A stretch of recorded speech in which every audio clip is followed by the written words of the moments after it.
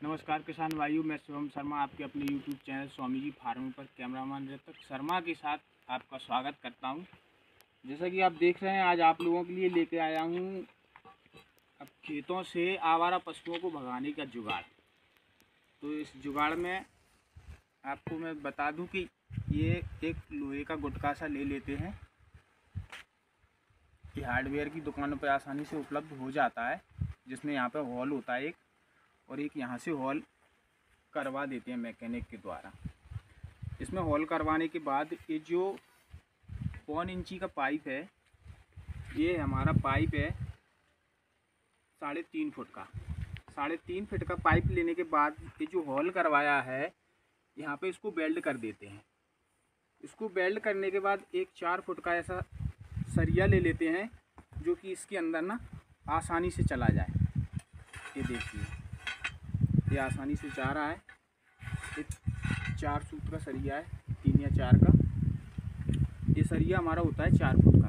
साढ़े तीन फुट का पाइप लिया तो उसमें चार फुट का सरिया लेना है। इस सरिये को साढ़े तीन फुट का ऐसे नापने के बाद ना चार इंची इसको ऊपर फालतू रखना है। चार इंची फालतू रखने के बाद इसको यहाँ से मोड़ देते हैं, जिससे इसकी यहाँ पर पकड़ने की व्यवस्था सही से बन सके। तो दोस्तों, अब मैं इसे आप लोगों को घाल के बताता हूँ, चला के बताता हूँ, कितना धमाकेदार चलता है ये। तो एक कागज़ लेते हैं।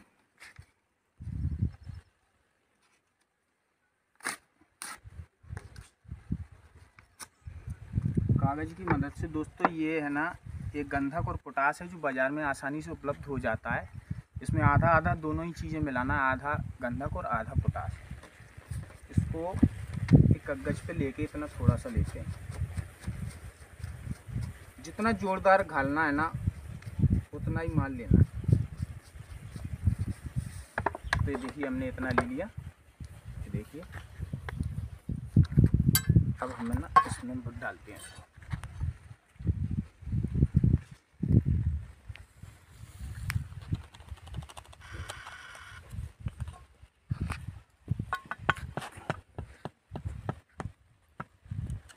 इसको भरने के बाद दोस्तों इसमें कागज़ डाल देते हैं, जिससे कि ले जाने में कहीं आसानी हो, जैसे कहीं दूर लेके जाना है। तो ये कागज़ लगा देते हैं, जिससे ये बाहर ना निकले अच्छी तरह से, जैसे कि हमने लगा दिया है। अब इसमें रॉड डालते हैं।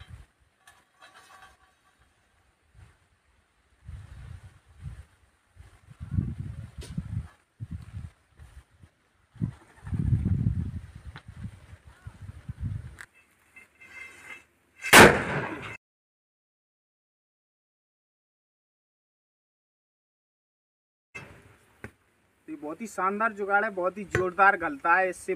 सभी पशु जो आवारा आते हैं रात में या दिन में, वो एकदम भाग जाएँगे दोस्तों। तो ऐसे ही खेती बाड़ी से जुड़ी हुई जानकारियाँ देखने के लिए बने रहिए हमारे चैनल के साथ। जब तक कि नमस्कार।